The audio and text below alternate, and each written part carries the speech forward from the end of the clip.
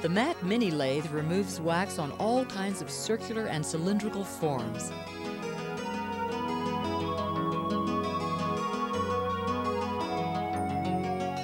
This unique tool will help you create bands, bezels, coin holders, settings, all kinds of circular wax models.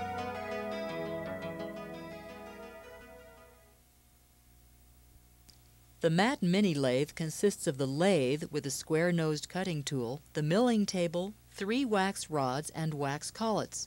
In addition, an Allen wrench, extra blank cutting tools, and hand tools are included. The components of the mini lathe are the handpiece bracket, the shaft, the cutting tool bracket, the cutting tool holder, and the wax holding collet. The tool holder and the cutting tool are already mounted on the tool holding bracket. The Matt Mini Lathe also works with a flexible shaft 1 inch diameter handpiece. Additional tools you may find useful are a graver, tweezers, alcohol lamp, dividers, caliper, spring gauge, and additional wax rods. First of all, rest your forearm on the table, the handpiece resting comfortably in your palm. Keep the handpiece parallel to the table top. Lower the motor if necessary. Slide the handpiece through the handpiece bracket just up to the chuck key slot. Tighten the bracket screws. Matt wax rods are supplied with the kit so you can begin experimenting. Three types of wax are included with your kit. All can withstand delicate and intricate work.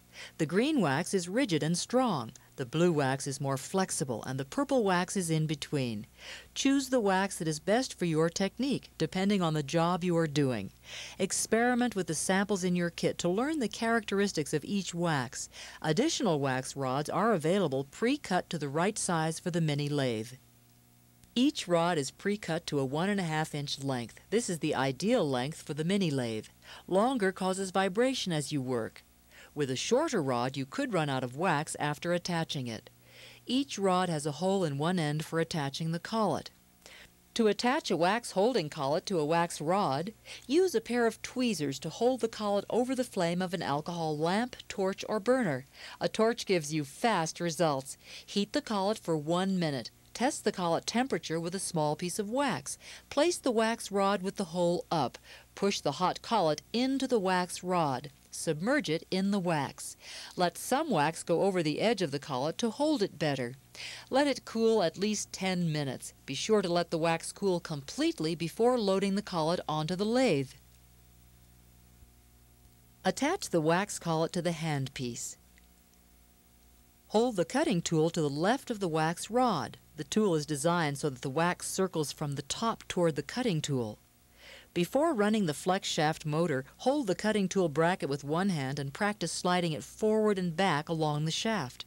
Slide and twist, testing the lateral movement of the tool holding bracket.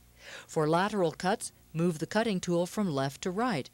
As you practice the following projects, you will develop your own techniques with this tool.